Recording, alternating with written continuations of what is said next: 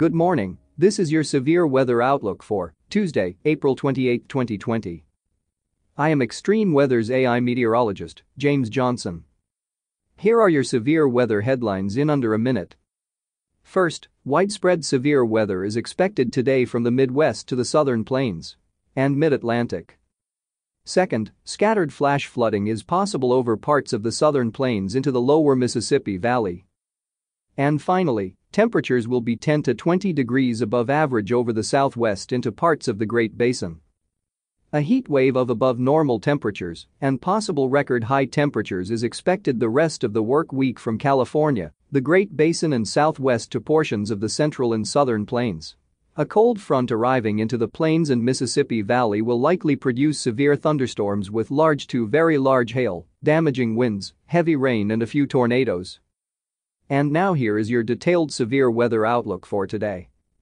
A developing weather system over the plains Mississippi Valley will produce severe thunderstorms over of parts of Mississippi Valley and central southern plains today and tonight. The threat of damaging thunderstorm winds is especially high. A damaging squall line is expected, with perhaps hurricane force winds in some places, along with wind driven hail. The greatest threat exists from eastern Oklahoma into adjacent parts of Arkansas and Texas. In addition, there is a slight risk of excessive rainfall. Some of the storms may produce 2 inches of rain in 45 minutes. The aforementioned storm will become the main weather story across the central to eastern U.S. during the next few days. This system is forecast to begin intensifying across the plains on Tuesday as an upper-level trough dives into the northern and central plains while ingesting very warm and moist air from the Gulf of Mexico. By Wednesday, the highest threat of heavy rain and thunderstorms should be pushing east of the lower Mississippi Valley toward the interior southeast. In addition, rain and some thunderstorms will be spreading across the Great Lakes ahead of the intensifying storm. Many areas of the east coast will begin to see rain arriving later on Wednesday.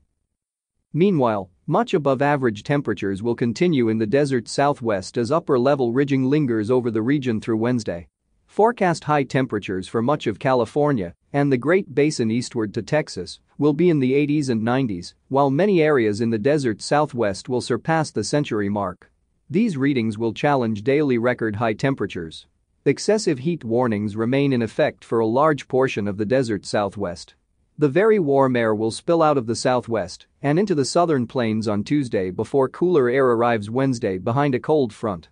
The front will produce a period of gusty winds which will push the warm and dry portions of the high plains and nearby Rockies toward elevated wildfire conditions both today and Wednesday.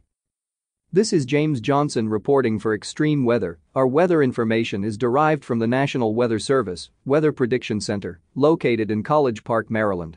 Our Outlook uses AI technology developed by Xtreme Weather, and our audio broadcast is digitally mastered by Jarvis Media Group. Have a wonderful Tuesday. And let's stay weather aware. This broadcast is made possible in part by Xtreme Weather. Funding for this broadcast is provided in part by our viewers and their donations.